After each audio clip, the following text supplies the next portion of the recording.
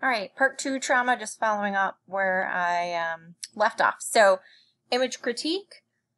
You are going to use your same image critique as you would for any of your routine radiographs. Um, image quality is critical for accurate diagnosis. So, um, just because the patient is fractured or their bones are in a different sort of setup, you're still going to evaluate your images the same as normal. Okay.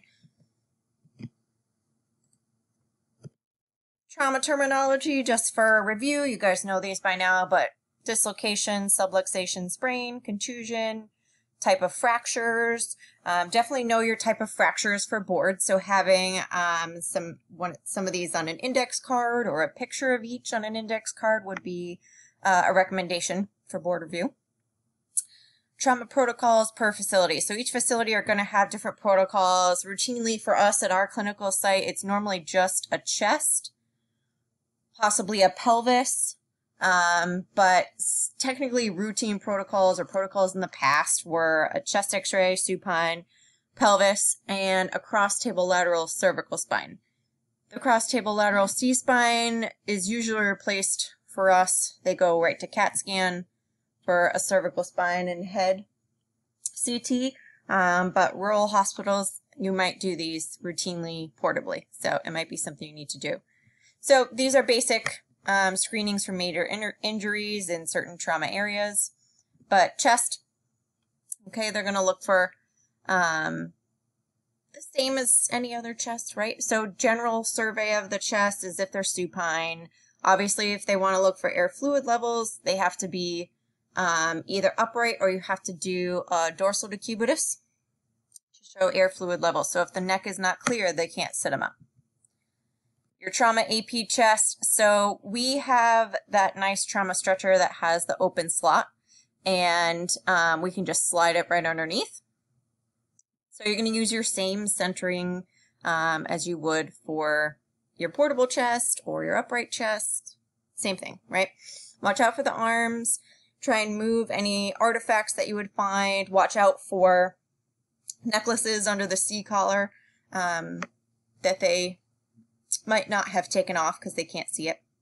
Um, and then make sure you, you raise that tube up, get the SID that you can. If the stretcher is bumped up really high, you may have to drop the stretcher to try and get that maximum SID. Um, so this is an image example of a gunshot. There's some artifacts in the chest here, but you guys know how to center a chest x-ray. Flail chest. Uh, just a reminder on this one, we've gone over this one before, but two or more rib fractures next to each other with two or more breaks per rib. So it's usually from blunt injury to the chest. Um, it can lead to death, depending on how severe it is. Uh, it's one of the worst injuries. So this is a pretty severe one with all of the hardware in here, ORIF ribs.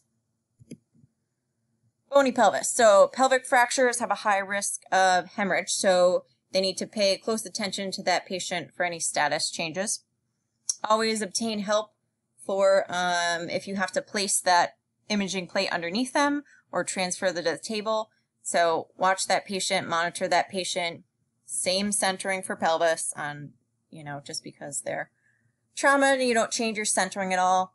Some visual signs that I look for anytime a patient comes in with a pelvis order. Usually the lower limb that's affected is externally rotated and shorter than the other. So if you're working with me and I have a patient that comes in for a pelvis, I kind of flip the sheet up by their feet and look at their feet um, to kind of see if that telltale sign is there. Just trying to watch the arms, um, keep them out of the way, try and get them up. If you need to use sponges to help support those arms, you can. Um, so try and get your entire pelvis on and watch those femoral necks. Okay, so obvious separation there. Lateral C-spine. Cross table lateral, right? Obviously I'm not going to be sitting up. So same centering. A C4, right? Top of the cassette here is just above the ear. If you're in the trauma room and they need one, which I would say I have never done one, well, probably maybe when I was a student, I did one, but in a lot of years, we haven't done one. So if you have to do a shoot through C-spine, you're most likely going to be in the room. You're going to use the wall bucky, but if not, you would just um, either have a cassette holder or have someone hold the cassette and shoot across. Same SID, same central ray, same image evaluation. Swimmer's view, you guys know how to do a swimmer's. It can be, you can do a cross table swimmer's the same way, okay. Really similar. C7T1. Arm closest to the image receptor. Gets moved, okay. AP axial cervical spine. So if you have to, um, do it on a patient with a C collar, they'll be supine. You're going to put it right underneath them. You would angle the same as if they were upright. If they have a neck collar on and their chin is dropped down lower, you're you're going to want to do close to that 20 degree angle than the 15. Watch your grid cassette. If you have a grid cassette under the patient, you want to make sure that it's not at a different angle. So you can sometimes play with the stretcher to get it lined up, okay? So really similar. Uh, your textbook reviews trauma C-spine obliques, which I have never done, but in rural hospitals where they don't have CT scanners, um, they may have asked you to do this in the past. But so same concept, right? Instead of the patient rotating 45 degrees, you're going to have to bring your tube over here and angle your central ray at a 45 degree angle. Um, and this way, and also keep your angle 15 to 20 degrees cephalad. So you're going to have to oblique it and angle it. I would highly suggest uh, no grid on this one because you're just going to get grid lines all over the place. Yeah. Um, so just a tabletop cassette, they are angling 45 and cephalad at the same time. I highly doubt you will ever see this done uh, in your time, but just a fun fact. T and L spine trauma, uh, basic guys. You guys know how to center for APT and L. Same central rays. The only thing I don't like about this picture is obviously you will not use a cassette without a grid on it for an APT spine or an AP lumbar spine. Yours will have a grid cassette, all right? Cross table, same thing. Same thing if they're lateral on your table. You're going to do a cross table lateral, centering in the same place, right? For T and for L. Try and get those arms up and out of the way.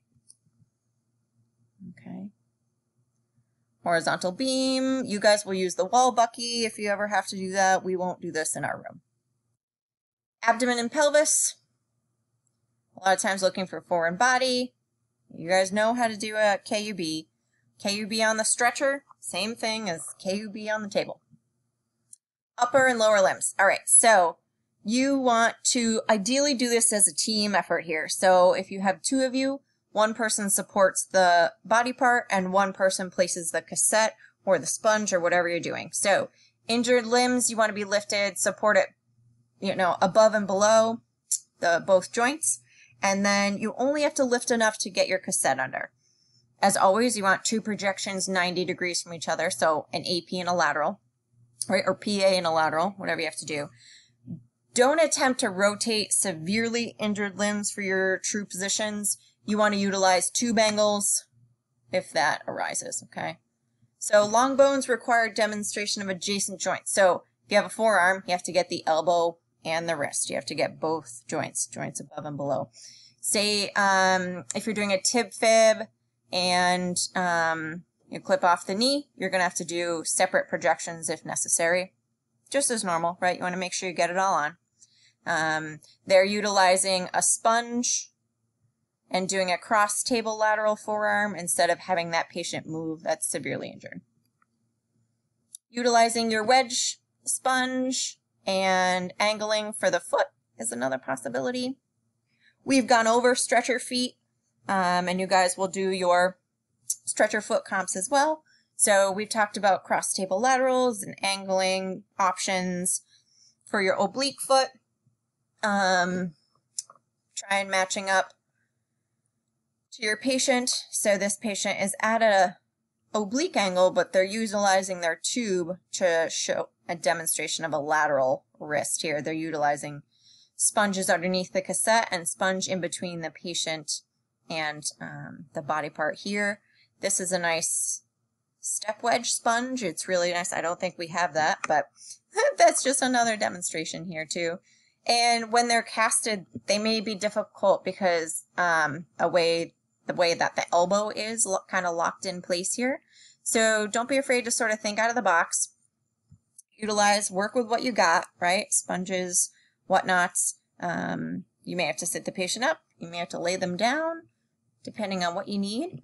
Uh, trauma elbow views. There are a couple in your textbook, but this one is demonstrating a PA versus an AP. So this patient um, might not be able to manipulate into an AP elbow. So they are doing a cross table PA.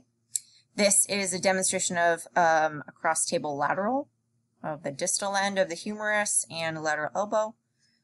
This patient um, is locked in place here with this post reduction most likely, but they're trying to get a lateral elbow. Can you see the tube angle here?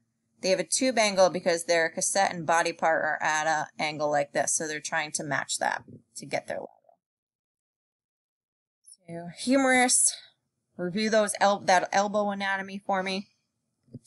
We have um, trauma elbow views, so a partial AP or partial flexion AP. So you're going to want to do one with the humerus parallel and one with the forearm parallel. So this is the humerus parallel to the IR.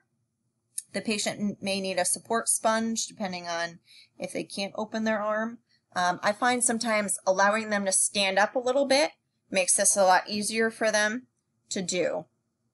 If the patient can barely open this up, you may need to angle into the joint a little bit to be able to get this. And you'll see the humerus looks normal, but the forearm is distorted. Why? Because of this OID, right? It's magnified. OID equals magnification, right? This is the second version, so the forearm is now parallel. You can see the forearm looks normal, but humerus is distorted. The humerus has increased OID, which causes magnification. So you're getting your radiologist an AP, but you're just cutting it into two parts. Acute flexion elbows, I've never done one of these, but uh, they're in your textbook. So it's when the elbow is flexed more than 90 degrees. Coyle method elbow trauma views. Um, so lateral for the coronoid process, elbow flexed 80 degrees, and the tube is angled 45 degrees distally from the shoulder. So the tube's coming in here and kind of throwing it this way onto your plate. So 80 degree flexion is usually the key term I find with these questions. And that's what it'll look like there.